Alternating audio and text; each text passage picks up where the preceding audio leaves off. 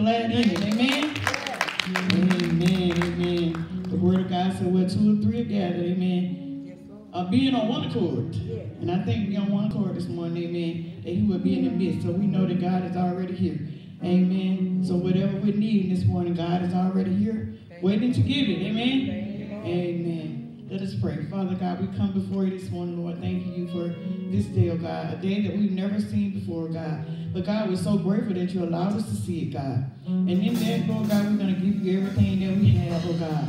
We're going to give it to you because it belongs to you. Our praise, oh God, it belongs to you because, God, you are so worthy today.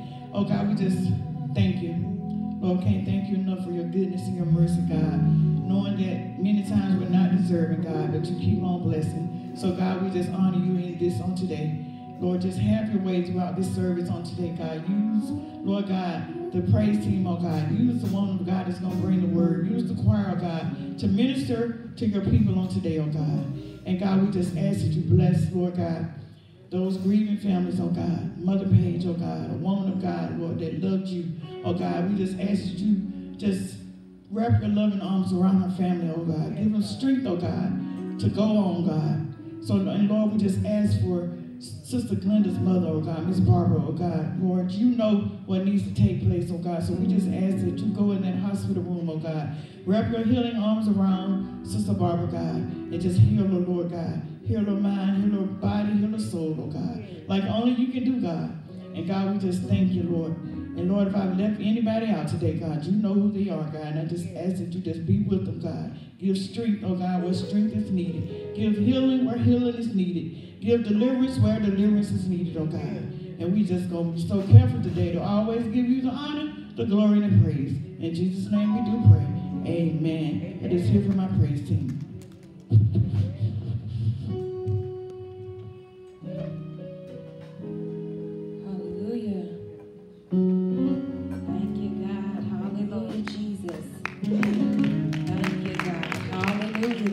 Hallelujah, Jesus. Thank you, God. Hallelujah, Jesus.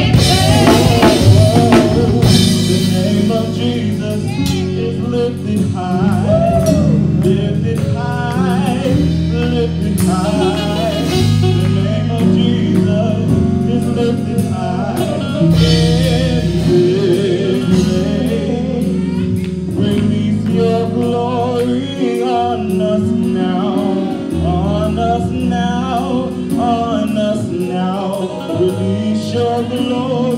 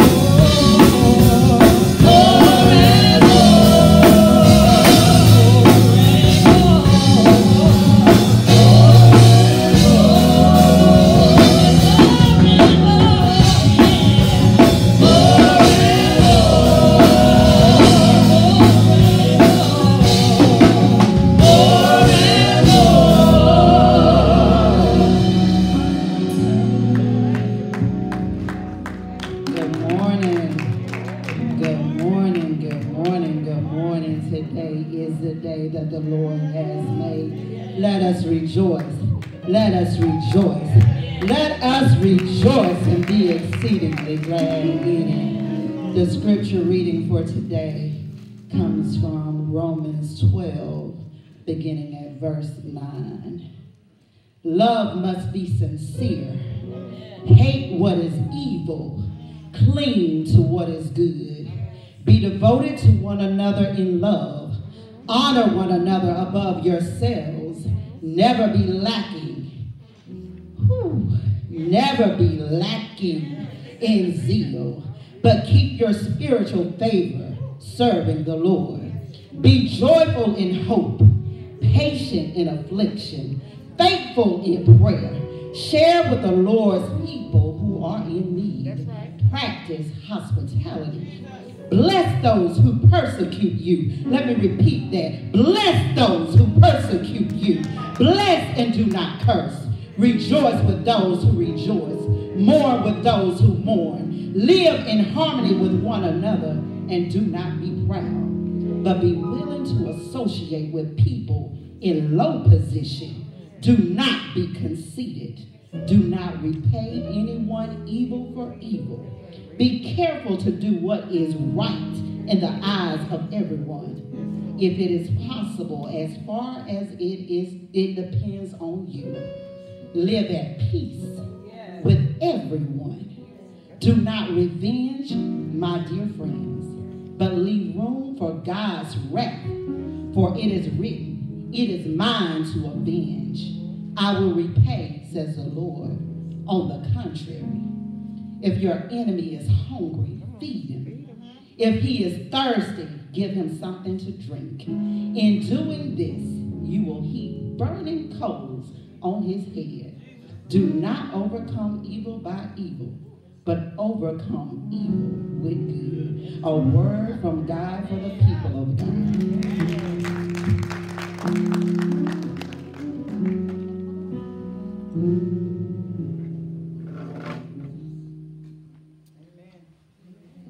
was a word. Eh?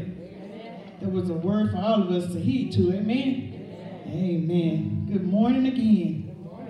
Amen. Our announcements this morning. Youth Ministry Book Club will meet every Sunday at 11 a.m. Any preschool to high school student wanting to participate in the program on Resurrection Sunday, please inbox Ms. Jennifer your name and your age. Amen. So those two for our youth um, any youth that want to participate in the book club or in the Restoration Sunday program, please see um, Sister Jennifer. This card was supposed to have been read last week, but of course, you know, the Spirit of God came in and we did what, what he did. He did what he had to do, amen. And so it wasn't no time for the announcements, amen. so this morning I have a card that came from Minister Bass and it says, Your thoughtfulness is so appreciated. Thank you for the basket. And this comes from Minister Antoinette Bass, amen. We also have an announcement here. Um, we know that if you're looking at your, your, your calendar, you're looking at the dates, um, next Sunday is scheduled to be Pastor Appreciation. But since so much has come up before, um, before us, we're going to push that back a little bit. And we're just going to um, ask that if you want to, so this is Mother Taylor asking for donations of homemade desserts. And if you want to contribute to any other items, please see Mother Taylor. Amen. So if you want to contribute to Pastor's Appreciation Dinner, please see Mother Taylor. Amen? Amen. Amen. And we will we'll come. We or he has told us the fourth Sunday, but in this month, next month, but we will definitely give you the correct date when it's confirmed. Amen? Amen. So the fourth Sunday in April is what we're looking at. But if that changes, we will let you know. Amen? Amen. Amen. Once again, I would just like to um, send our condolences to the to the Page family. You know, I, I can just see Mother Page looking down now and smiling because, you know, her family is here. Amen. That could have been that could have been an excuse for them to stay at home. But they're here lifting up the name of Jesus because she taught them that it's all about Jesus. Amen. So we just want to just lift them up. Amen. And go by them and give them a hug just to let them know that we here at Stonewidow have their back and we love them and we got them. Amen. Amen. And we also ask that you keep Sister Glenda's mother in your prayers as well. Amen. She's in the hospital. Amen. But we know God to be a healer. Amen. And we are praying for healing on her behalf. Amen. At this time, We're going to hear from our choir refresh.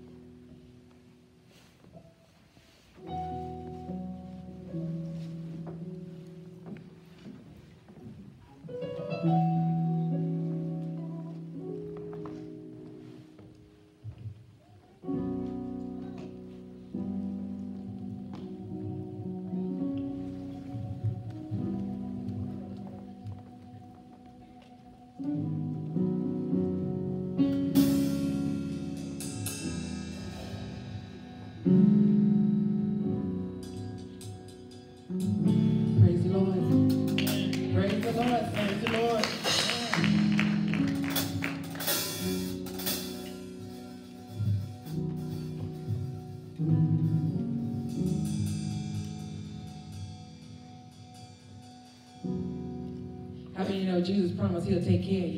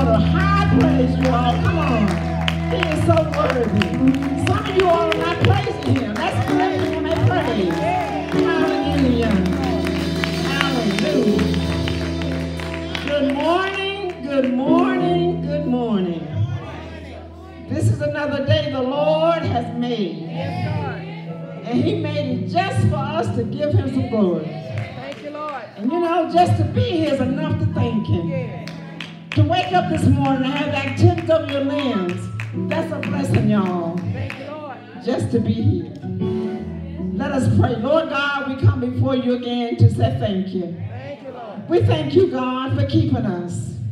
You kept us all week long. Though some of us went through some things, but you kept us.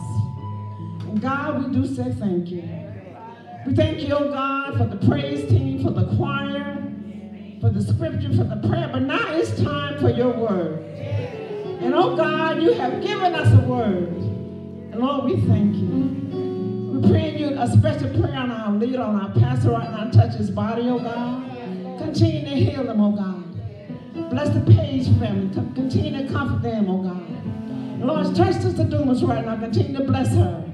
Lord, we just thank you, we thank you, we thank you. And we thank you for this word in Jesus' name. And all of us said a hearty amen. Hallelujah. You know, I was sharing with Minister Lyons this morning, and I know all of us have probably heard at one time or another where ministers say, well, you know, I had one message and I studied for it, and all of a sudden the Lord changed it. Well, it's happened to me. This is the third time this happened to me. I have you know, saints. You know, that's why he tells us our steps are ordered by him. And his ways are so high above ours. And we just, if I just get that in my head, I, I can do better. But anyway, I was working on this message that, uh, that I thought I was going to deliver this morning. Up to 1.30 a.m. this morning, I was wrestling with it. Have your way, Lord. I said, Lord, I got to get me some sleep. got to get some rest. And some other things were going on yesterday in my life, but he said, cast all our cares on him. So I went to, I laid down about 1.30, woke up about quarter to five, could not go back to sleep. 10 minutes and 6, Sister Dumas, he gave it to me.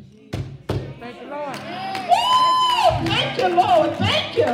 Because I have been wrestling with this thing, but he gave it to me. And I hope and pray that you receive it. He gave it to me. Thank you, Lord. If you have your Bibles, please go with me to the book of Habakkuk. This is an Old Testament. It's after the book of Nahum. and It's before Zephaniah. In case you didn't know exactly what it's squeezed in there in the middle. There are only three chapters here of Habakkuk. And we're going to be reading verses 19, pardon me, 17 through 19. But we'll be referring to the other verses. But right now we're going to concentrate on those three verses, 17, 18, and 19. Habakkuk 3. Y'all have it? Amen. Verse 17, although the fig tree shall not blossom, neither shall fruit be in the vines. That's right. The labor of the olive shall fail, and the fields shall yield no meat. The flock shall be cut off from the fold, and there shall be no herd in the stalls. Yet I will rejoice in the Lord. I will joy in the God of my salvation. Yes, Lord. Now, from those two verses, he has given us, oh, I said 19, I'm sorry, verse 19. The Lord God is my strength, Yeah. And he will make my feet like hinds' feet, and he will make me to walk upon mine high places, to the chief singer on my string instruments. Now, from those three verses, he has given us the subject. Thank God anyhow. Yeah. Now, when, when you think about it, when you think about the word anyhow, you can say, thank God regardless. Mm-hmm. Thank God, nevertheless, I'm going through this. Thank God anyway. That's right. Habakkuk's name means embracer. What, what says a person who reaches out freely, who gives, who has a heart for others, has no problem extending help, shows compassion. Habakkuk was one of the 12 minor prophets. And this book only has three chapters. At your leisure, I, I, I suggest you read it. But this entire chapter is focused on a conversation between Habakkuk and God. We see now it's apparent Habakkuk has a personal relationship with the Lord because he came to the Lord boldly with confidence, reassured himself, asking questions. And I know that many times Pastor Dumas has told us it's okay to ask God questions. How are you going to have a conversation if you don't, you don't ever ask a question? Amen? So he was troubled about something, Habakkuk was. Something he was struggling with, and he wanted some answers. And you know, when we're troubled, struggling to understand some things going on in our life, we need to take it to the Lord. Now, we don't need to call Sally, Sue, and John. We need to ask the Lord. Because I'm telling you all, last night when I was wrestling with that mess, I said, oh, what is this? I didn't call my daughter and say, Teresa, pray for me. I didn't do that. Now, I, I, I love her prayers, don't get me wrong. But I asked, I said, Lord, I need you to direct me in this. You understand? So we need to go to him. In fact, the Lord tells us to do what? Cast all of our cares on him. Then he gives us the reason for doing it. He said, because he cares about us. And I don't know about you, something I just take on my own. And don't I mess up when I do that? Messing up mean you have a headache? I'm serious. Blood pressure goes up. When you say, just give it to him. He has, he already has answers anyway. And look, and he's still, he's still awake, he doesn't sleep. So he's there waiting on us. So we go to him with our questions and troubles. He answers our solution might not be what we want. And many times that's the case. He answers to our benefit. But because we trust him, we go to him anyway.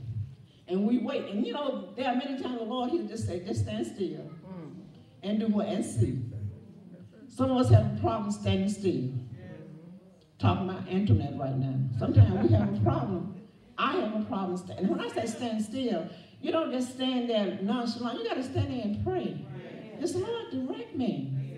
And I think old age has a lot to do with that. You know, we, we you don't think so? What it does. but um, by that I mean wisdom teaches us we need to wait on him. So here in our text, Habakkuk's living in Judah. And that was a time when they didn't have a king or they didn't have a judge, so they did things the way they thought they should be done. Anything that felt right to them, they did it. But we're going to see where, in this book, the Lord talks to Habakkuk. So Habakkuk has had enough. He begins this book in the first chapter with a question. He said, How long must I cry to you and I don't get a response? How many of us have asked the Lord a question? Lord, how long I got to go through this? You know, and, and I hate to hear somebody say, well, somebody, um, to the fact that just wait, something's going to come around the corner. I don't, know. you don't, you don't be looking for stuff, especially negative stuff. But we do that to ourselves. What, what's the next? Every time you turn around, it's something. Yes, it is. But it's some good stuff when we turn around too. All right. So the Lord tells, he tells Habakkuk, just, just calm down, Habakkuk. In other words, you stay in your lane. I got this. And see, as we read this, we're going to see where the Lord advised Habakkuk that I'm going to straighten this thing out, but I'm going to do it my way. And he was going to use the Babylonians to straighten the Jews out. Now, you, you say, well, in fact, Habakkuk want to know, why are you using those people who are sinful? We're so judgmental sometimes, y'all. Why are you going to use them to get us straight? But the Lord was telling him so many words, like I said, stay in your lane, I got this. He had a plan. But he doesn't always give us his plan. He most certainly doesn't give us the results of his plan.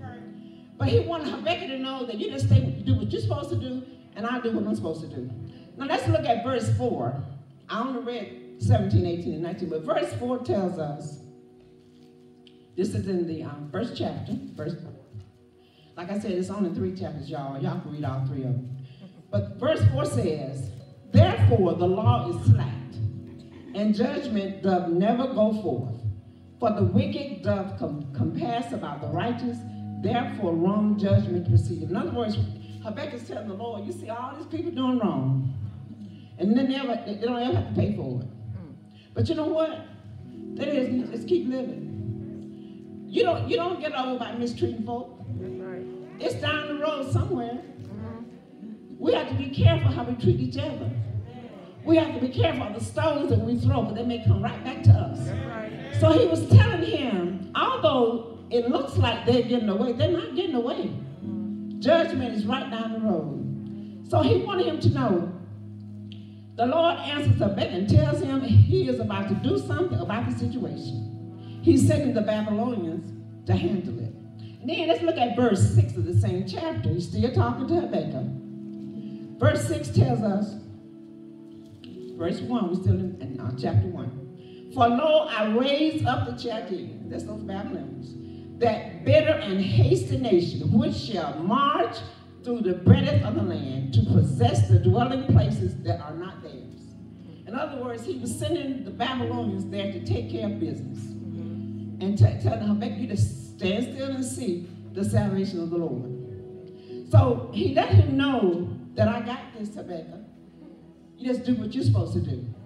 And you know, that's the way it is with us. When we are dealing with stuff, we are dealing with stuff. We have to realize who's in control. Yeah. Even this world that we live in, there's so much stuff going on in our world today. But who's in control? The Lord is. And he shows himself on a, on a daily basis that he's in control. Mm-hmm. Now in chapter 2, we're coming down to our chapter.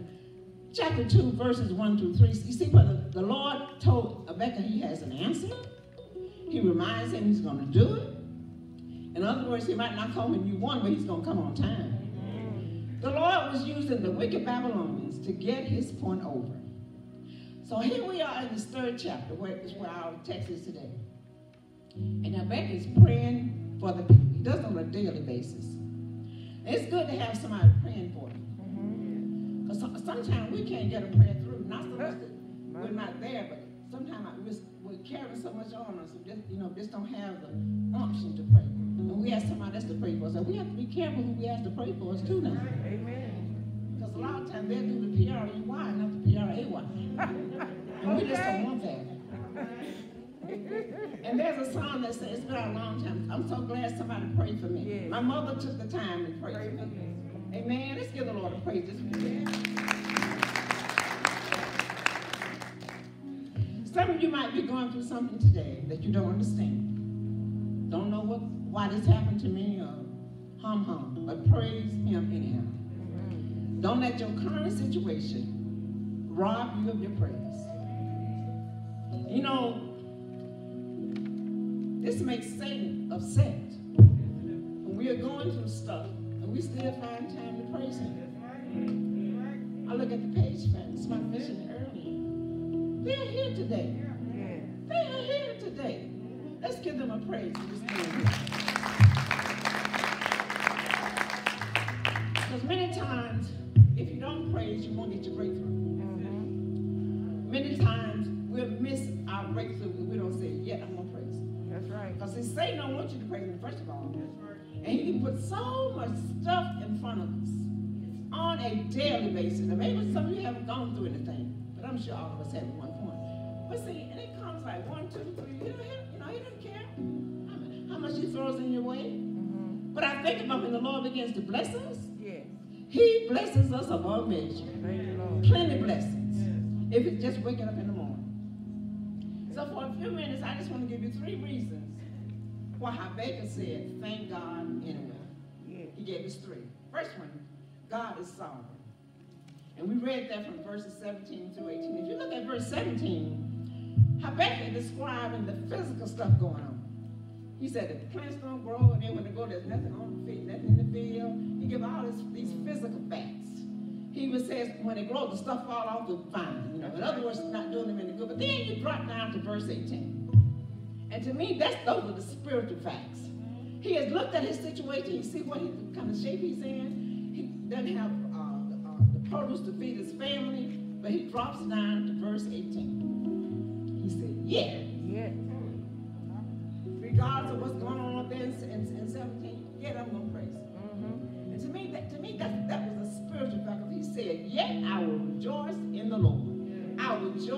God of my salvation. Yeah. See, let's make this thing personal. But he looks at his situation he sees all this negative stuff going on, but he finds something positive about it. I'm going to praise him in anyhow. And Satan wants you to praise the Lord. Come on now, think about it. He wants, he wants you to give him all the credit. But we know who does it. We know he's a God of, of faithful to us. And then he says, circumstances change, but God doesn't. That's what Solomon means. He's the same yesterday, Folks change over. I said it again. All right. People Yeah. change. Yeah. Husbands change over. Wives, children change over. Oh God, children change over. But God stays the same. He's a God we can depend on. I was calling on him this morning, y'all, at 1.30 in the morning. He came to my rescue. I don't know what your 1.30 look like.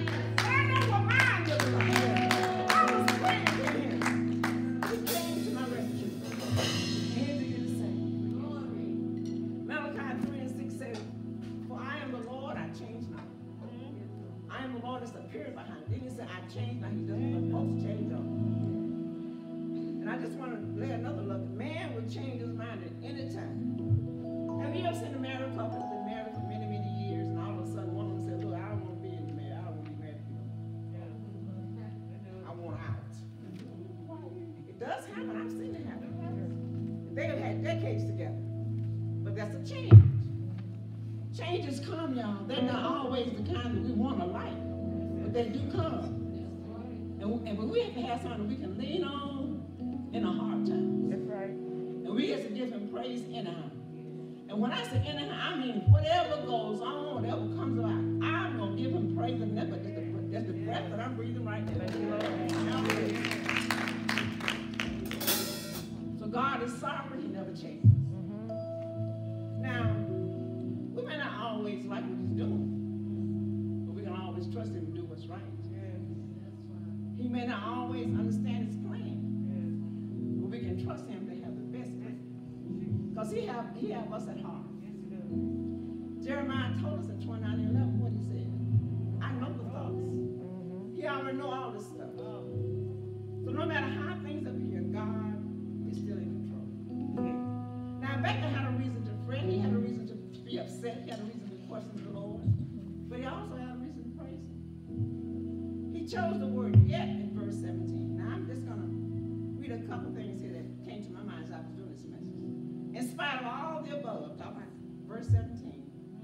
Rejoice.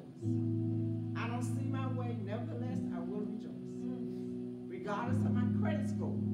All right. Yet I will rejoice. Electric bills due tomorrow.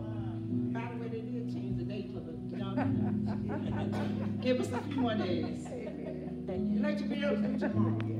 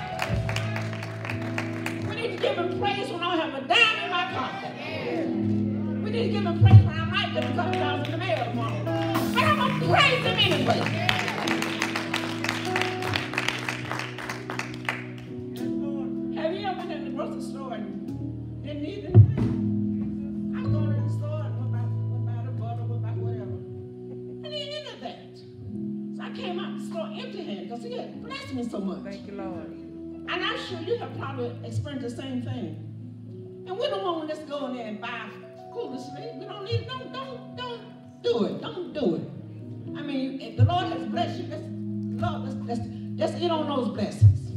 You don't have to have your freezer overflowing. Who are you trying to prove it to? I'm just saying. Yeah. The Lord blesses us. Mm-hmm. I had to make some room in, in my freezer. That's the Lord, I think. I get, because I gave some of it away. That's what we need to do too. And that's another thing we need to do. When we overflowing, he didn't just give us to sit there and look at the overflow. All right. That go from cash, food, or whatever. We need to give because he freely gives to us. So we don't want to hold on to this stuff. Because one of us, we leave here tomorrow, somebody's going to get it anyway. So you might want to get to the person you want to have, but why you, why, why you still living? The second reason Habakkuk had a thank you praise is that God's salvation never ceases. Once we're saved and we stay in the arm of God, we, we're saved. It does not stop. And salvation doesn't depend on how, how well we're doing. As a matter of fact, it kicks in when things are not going so well. Salvation rests solely on the grace of God. Nothing we've done, no works we've done can get us there. It's solely free from Him. But we've got to do something, y'all. We've got to live right. They just sung that song a few minutes ago. I can't treat you terribly and think I'm going to leave you and go to heaven. What are you doing? I ain't work, don't work that way. And not only going to heaven, I'm, he, he's not going to bless me right now if I mistreat you. That's right. If you mistreat me, he, he, he ain't going to do it, y'all. I'm telling you right I'm, I'm serious. And he told us in John 14, 20, he said, I bring all things to your remembrance. There can be good things and bad things. And I don't know about you, there have been the things in my life that, that I, I shouldn't have done. And thank God he brought it to my attention. Have to say, Lord, forgive me right then. Mm. I mean, one time something came up over 20 years ago that I had done. I didn't go kill nobody, y'all. I didn't take nobody's husband. But I did something I had no business doing. I said, Lord, if, if I didn't ask you then, forgive me. And he'll do it. Just repent and and he'll do that. But we don't want to keep piling up stuff, piling up stuff. You know, and, and just, and just over and over again, you know. And, I, all I'm saying is just, you know, just ask him to forgive us. And he'll do just that. Because his salvation never stops. And the third reason Habakkuk tells us we can thank him anyhow is that because his strength never collapses. All right. Thank you. Philippians 4.13 says, what did I say? Philippians 4.13 says, I can do all things. I, but we got to have it done through Christ. We can't do it on our own. See, his, his salvation doesn't stop. His strength doesn't collapse. His strength does not go weak on us. We go weak on it, but it does not go weak on us. Amen? Thank you, Lord. So when we're, not, when we're unable to stand, he enables us. When we can't go on, he helps us. When we're in the valley, he lifts us to higher ground. Habakkuk teaches us in this passage to get through the doubt barrier. In other words, the Lord can turn our doubts to shouts. And he can do that. He can turn our worrying to worship.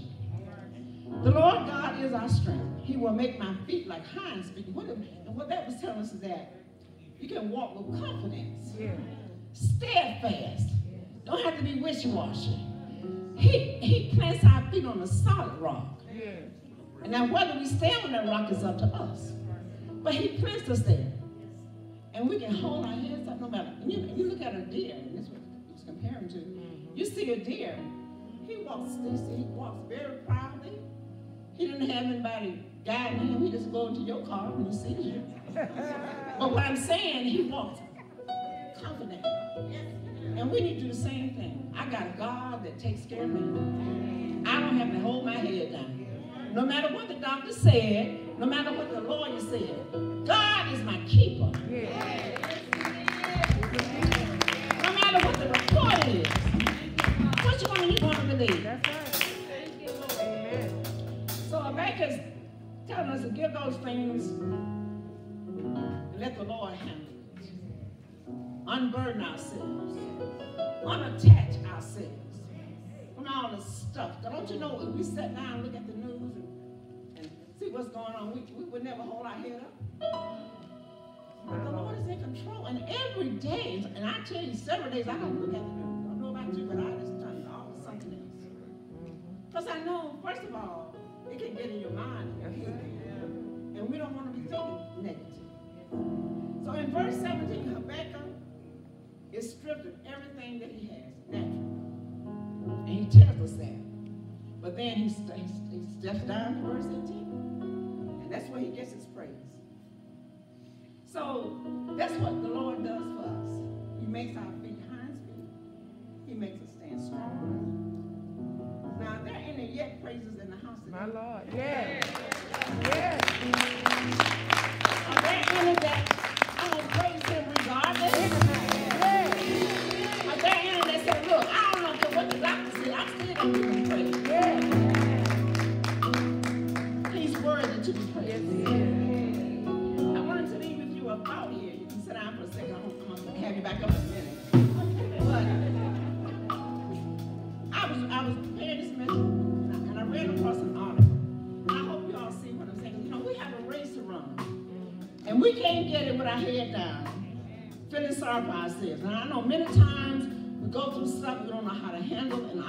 Flesh. But I read this story, and this was so enlightening to me. The name of it is They Sent Me to Finish. The Olympic Games was in Mexico in 1968. The marathon is the first final event on the program. The Olympic Stadium is packed. There is excitement as the first athlete, an Ethiopian runner, enters the stadium. The crowd erupts as he crosses the finish line. Way back in the field is another runner, John Stephen Akwari of Tanzania. He has been eclipsed by the other runners. They left him. After 30 kilometers, his head is throbbing, his muscles are aching, and he falls to the ground. He has serious leg injuries, and officials went in and wanted him to retire,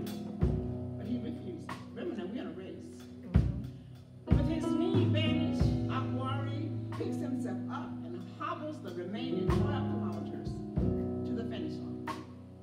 An hour after the winner has finished, a Akwari enters the stadium. Whole hour later. All but a few thousand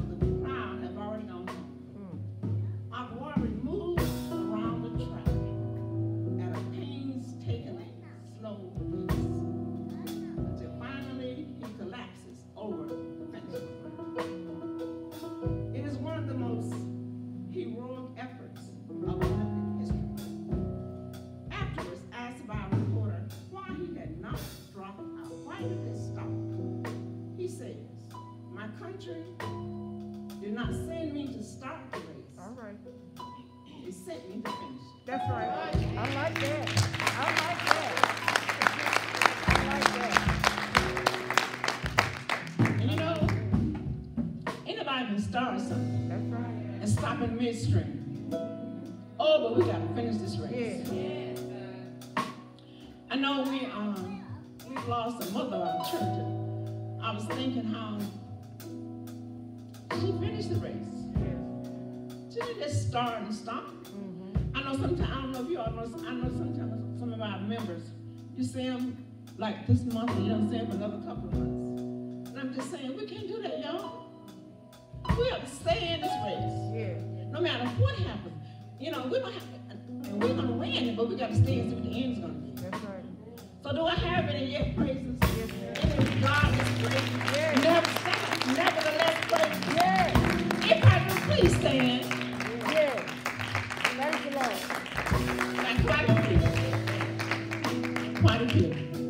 Now, if you will, uh, Sister Dumas, would you kind of come to the altar? We're gonna say a special prayer for Sister Dumas and Pastor Dumas. And if you will, if you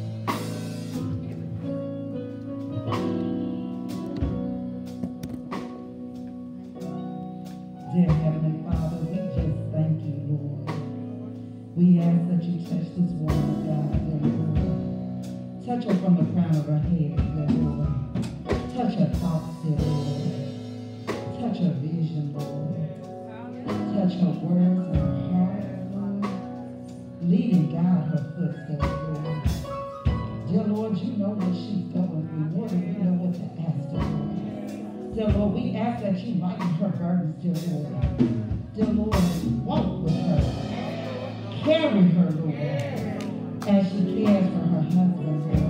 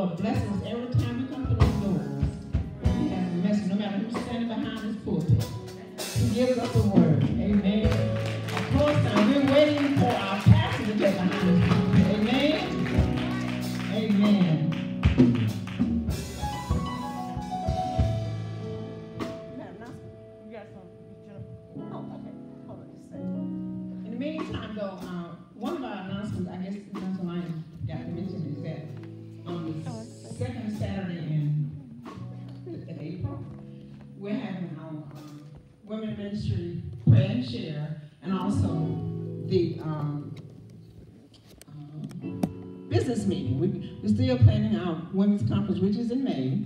Amen. Let's say May, y'all. May. So we are also the kickoff of that conference is going to begin with the shut-in, which is the last Friday in April. I think it's April the 29th, from 6 o'clock p.m. until Saturday morning, 5 a.m. That's the shut-in. Amen. Let's give the Lord a praise. That's going to be our kickoff.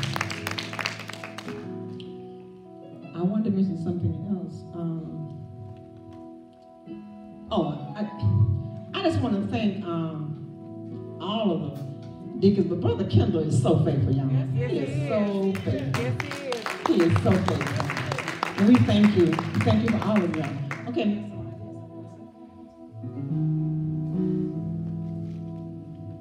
We just kept left off a couple announcements on last night. We had our third annual um, mental health symposium. It was awesome. We also want to invite you on April the 9th for our fourth um, symposium.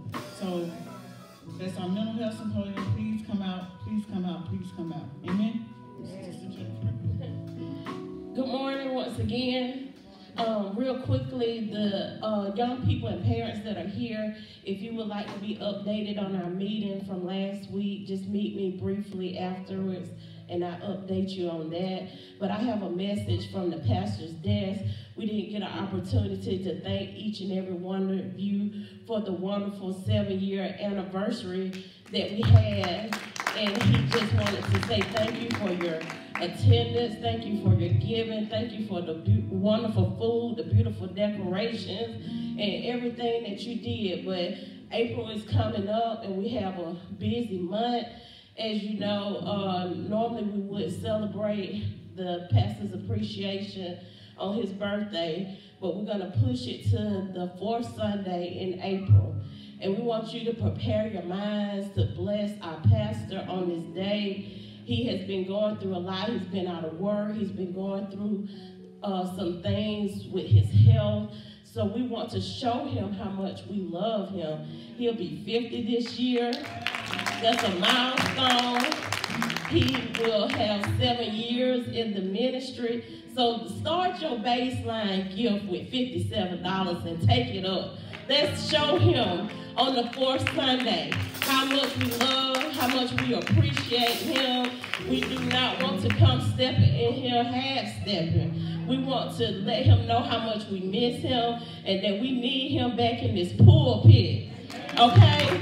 And no devil in hell, no matter what they praying against him, P-R-E-Y, against him, that what God has done. No man, no nothing, no devil in hell is going to stop. And we will stand together boldly on his behalf. We will continue to stand in the gap until he gets back here in this pulpit where we need him. And so we ask that you all stand first lady, our first family, and the entire Stone Well Nation that we will prevail in Jesus' name. Amen.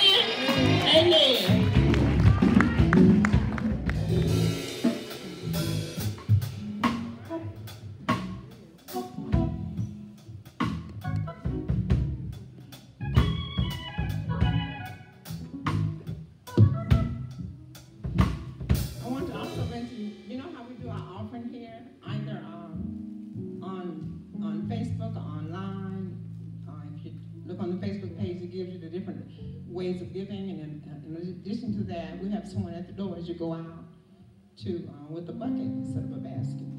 I also wanted to mention that Mrs. Page's homegoing will be Wednesday at two o'clock here at the church.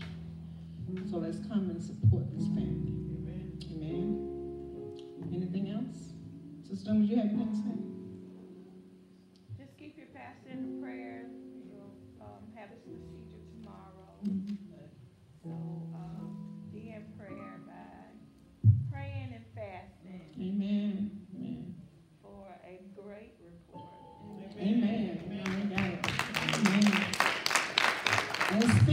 Fasting and praying, we are still here every evening from 6 until 7 in prayer. You can bring your bottles of oil.